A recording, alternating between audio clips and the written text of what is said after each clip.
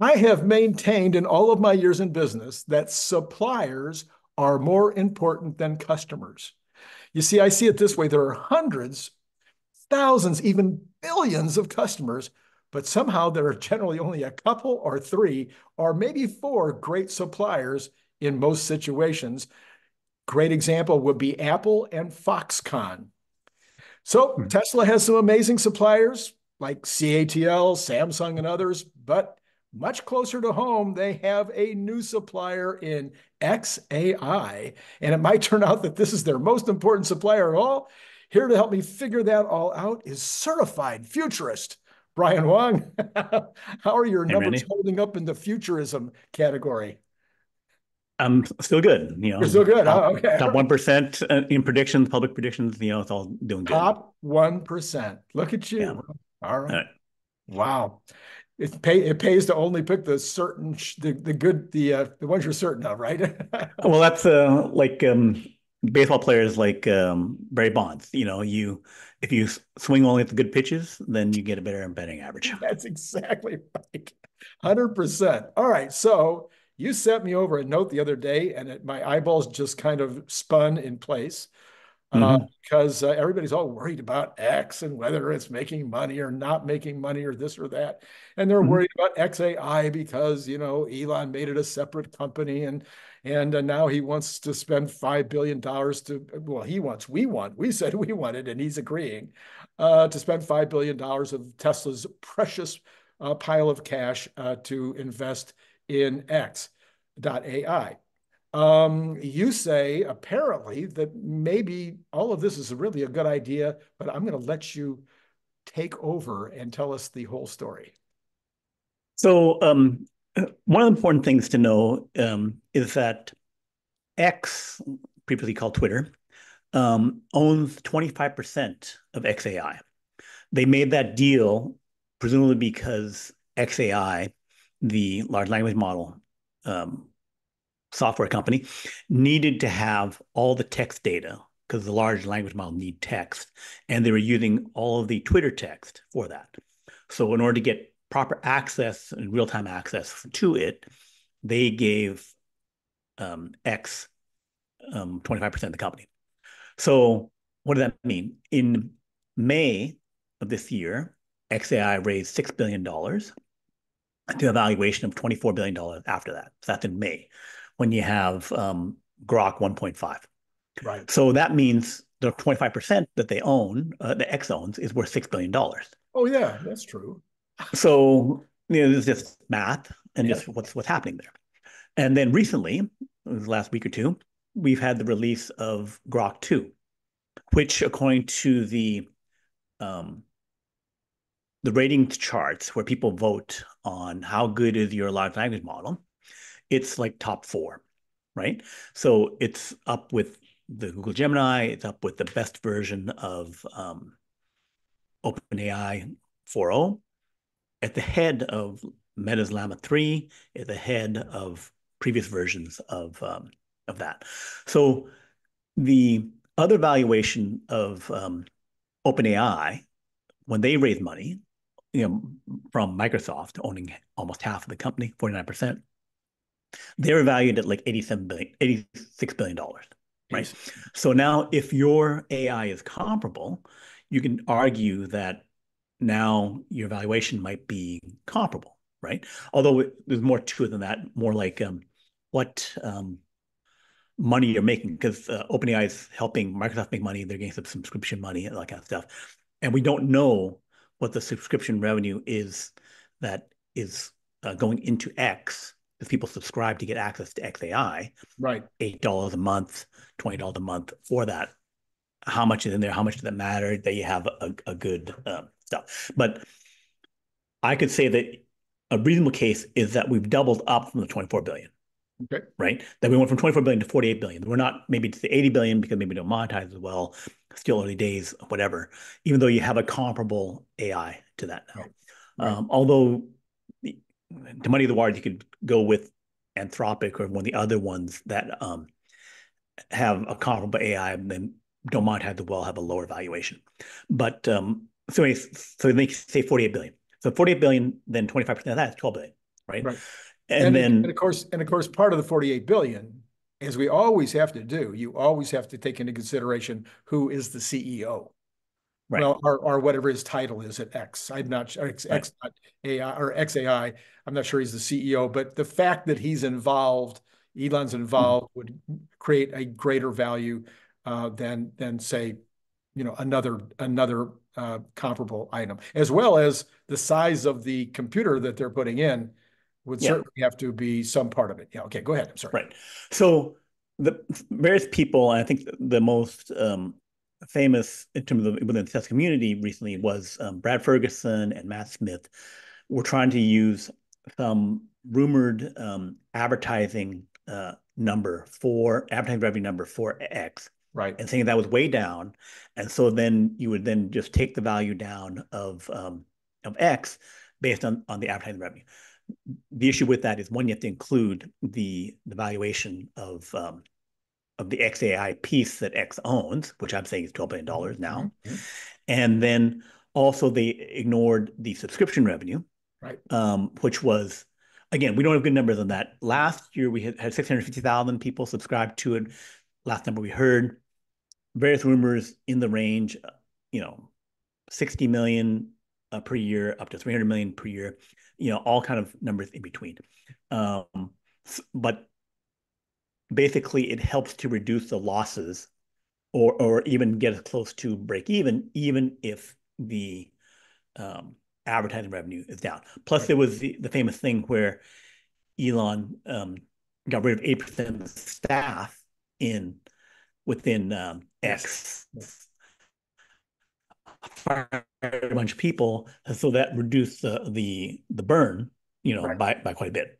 So, my argument is that in the next five months, that the valuation of X and XAI each will go to about eighty billion dollars Each. that each. So XAI will release Grok 3 around the end of this year, right? Mhm. And they've already built the 100,000 um, AI uh, H100 NVIDIA data center to, to, to generate that. They're training already.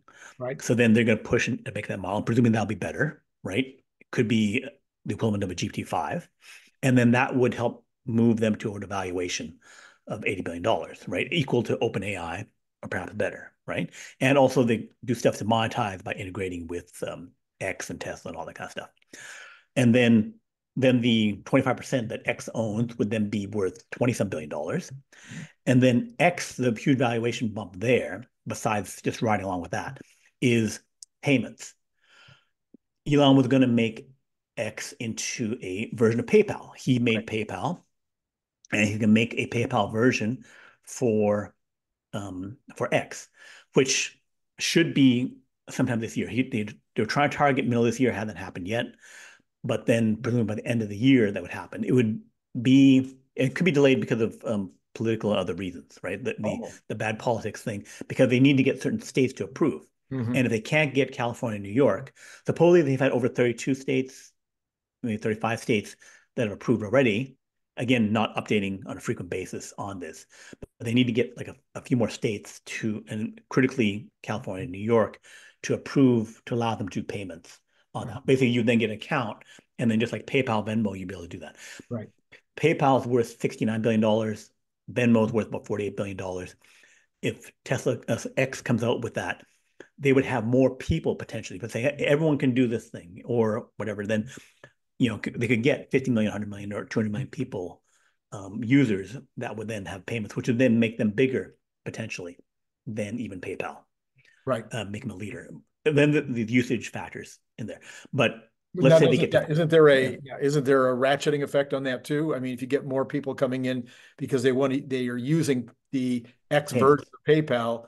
Uh, they haven't ever used X before, but all of a sudden they want to use this pay, this payment system because their friends are on it or, or the other companies that they're doing business with are on it. So they come in, they learn about it from that. Now all of a sudden they're in the uh, ecosystem.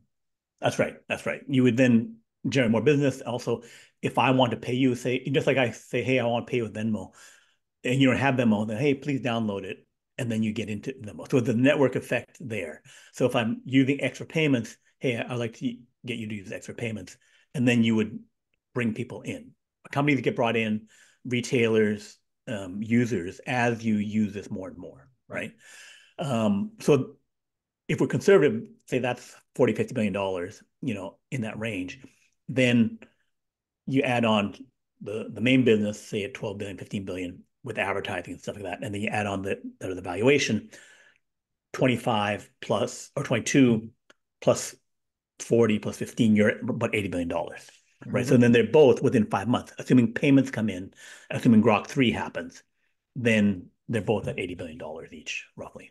So theoretically, at this very moment in time, the individuals who are already invested in X would be able to do the same calculations you're doing. We're assuming that Elon has put all of this in front of them at some mm-hmm. point in terms of some realities um, uh, in, for the future, because that's what they would be betting on would be a future with Elon.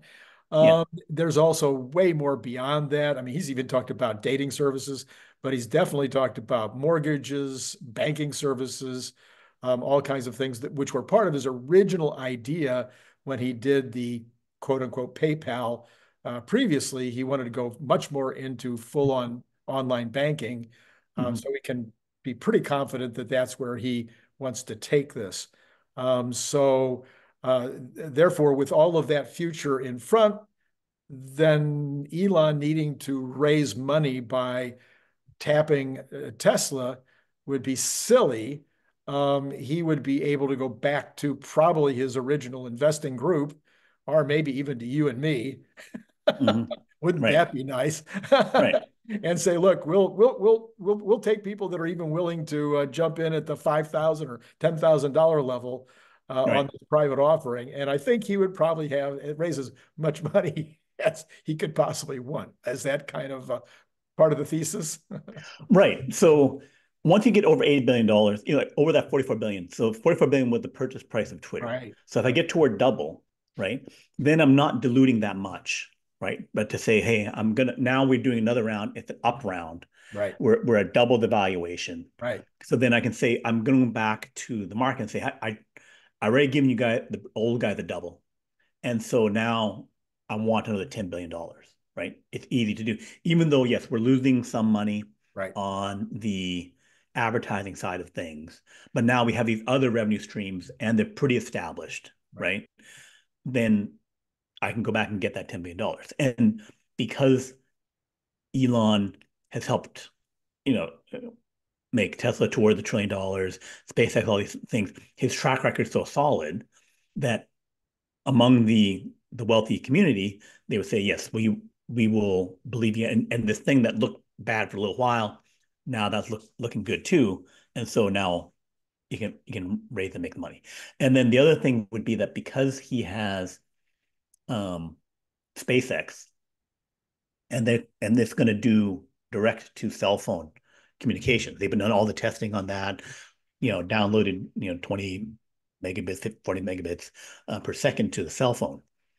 That would enable them to do um, low speed texting everywhere, like literally Antarctica. If you could see the sky, you could then get a right. see one of the hundred uh, Starlinks that can communicate directly to your cell phone. And Twitter originated from the short message thing, right?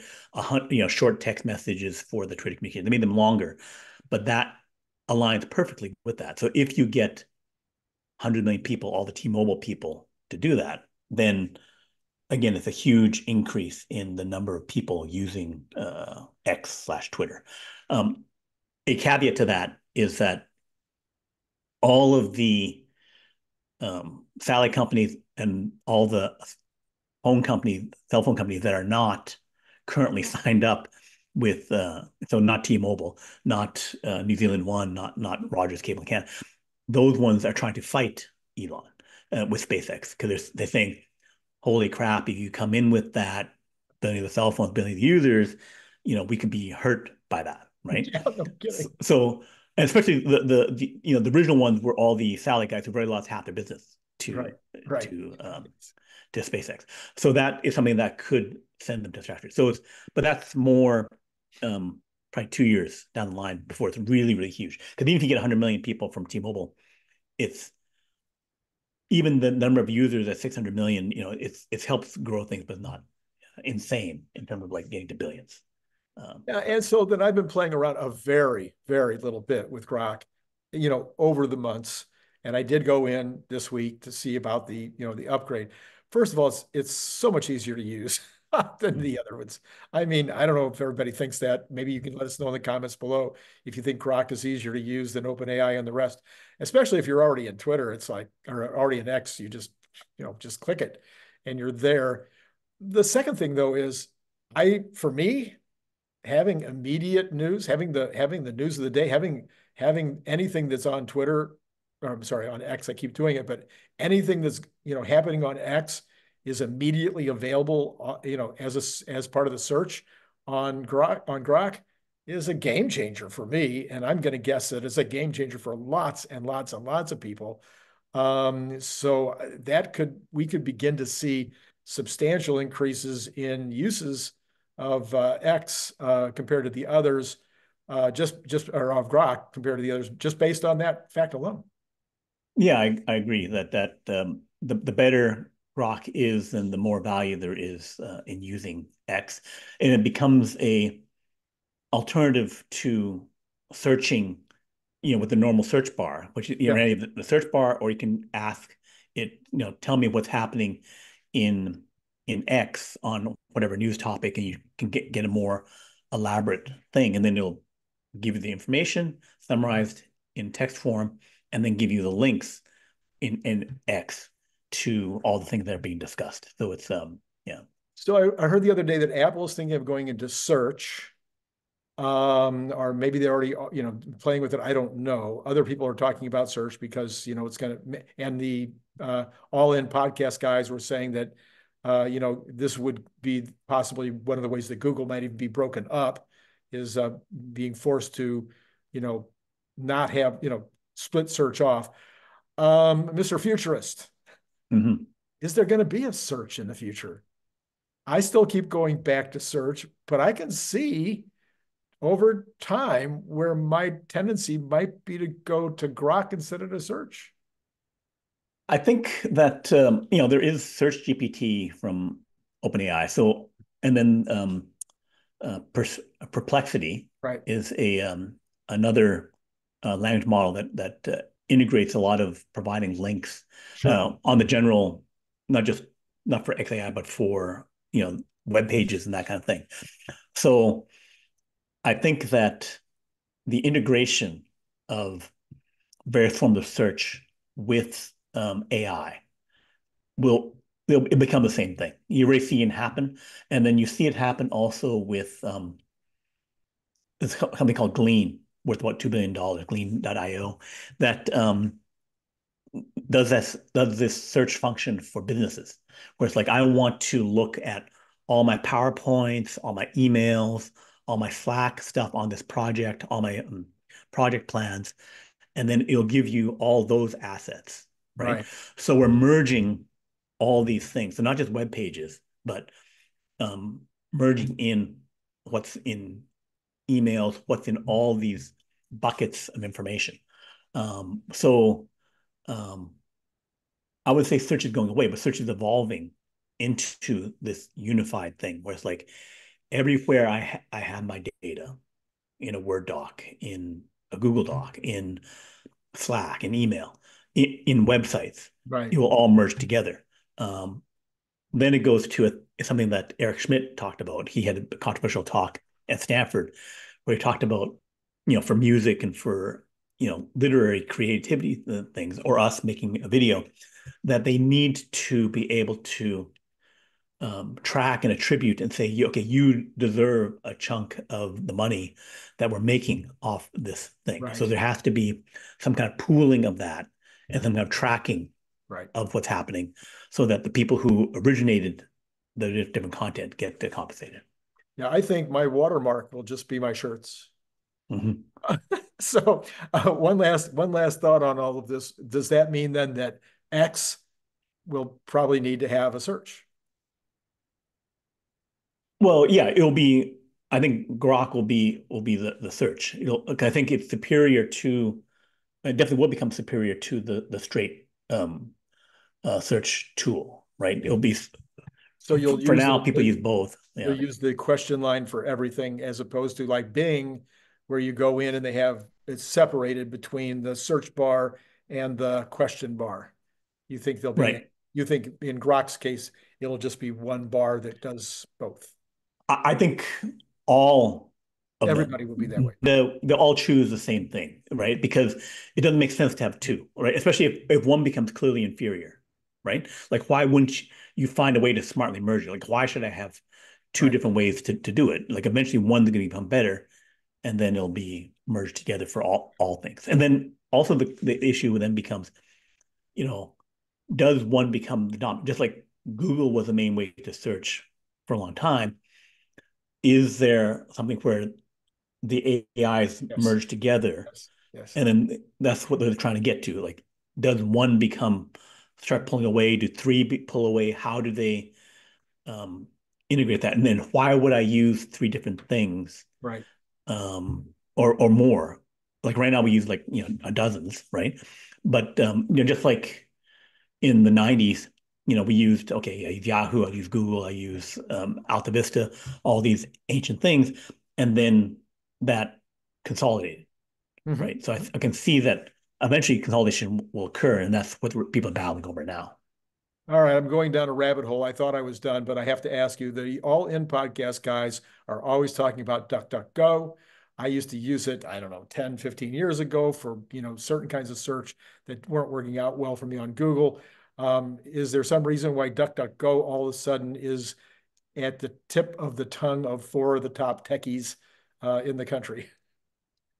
Um, I think it's it's DuckDuckGo has made some deals with some of the um, AI search thing. I think Perplexity may be using them. Oh. So, um, you know, like it, if you can't cut a deal with Google, and why why would Google cut a deal with you? Then you have to go to Bing, go to DuckDuckGo. DuckDuckGo is, is one that would. So all the AI guys would then, I think, are cutting deals with, with them to get a. I see. A, a pretty good search that they can have an arrangement with someone that wants to grow, right. and someone that's willing to work with the other systems, right? So um, it's it's let, let them reset the table in terms of like, okay, we're always doing the Google, yeah, but now we have the means to uh, circumvent them, etc. Ah, uh, yeah, that is so. Man, I'm glad I asked that question. no now, is there any more to your story here? I don't want to cut you off. Is there more to the X and XAI story in terms of valuations going forward? Of course, the the opening of the conversation was about the impact on on on uh, on Tesla and the impact. Mm. And yeah, so I suppose we need to talk about that. So the impact on Tesla, the obvious one for me is making uh, the the car and the and the robot talk, right? because I think those are very very important, and the better they can talk, the better that's going to be for everybody. Uh, well, mm. assumedly, but I mean better in terms of the product, the product itself. Are there other things that you? Well, I, I guess integration of AI into Tesla's um, uh, factory management plans pro programs, or would they be doing that themselves internally anyway?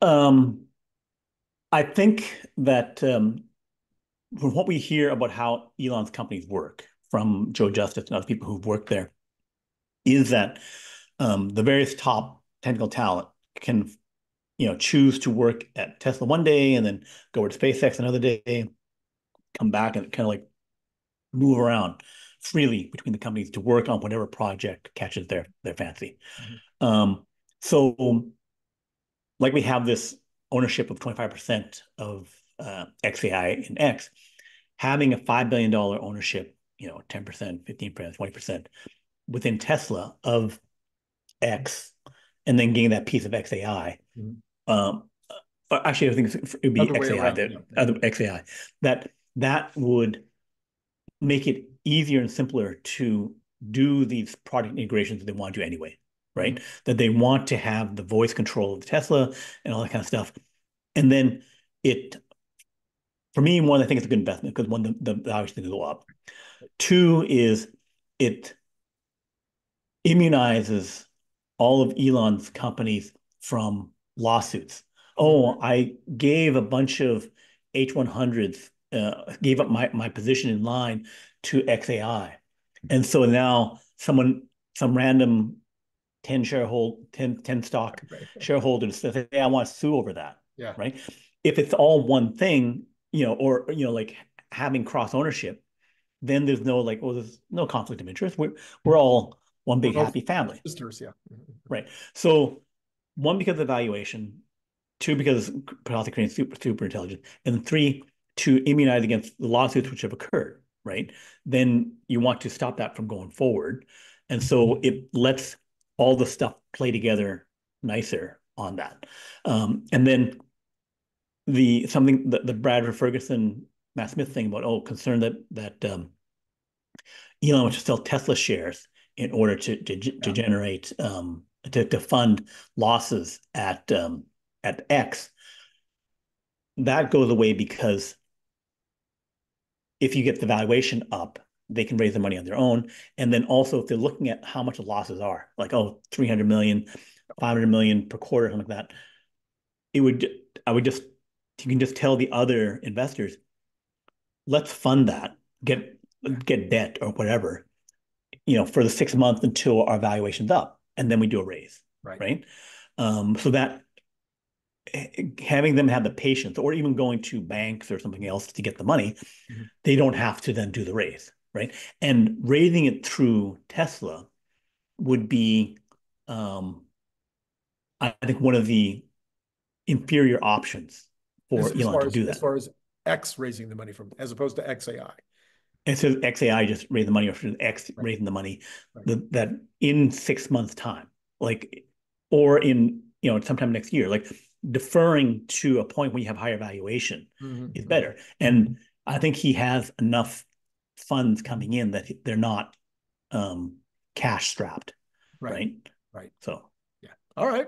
Well, cool. Um, yeah, I, I think uh, I hope everybody enjoys that as much as I did because it was uh, I you know I hadn't really I I kind of felt bad, Brian, that I hadn't thought of those things, but okay. that's why we have you. That's yeah. what, what, would be your purpose. you, you have loads of insight as well. So, you know, all right. So, um, we want to thank you, Brian, for coming on and helping us out as you do so often. And to all of you out there, it's been great talking to you.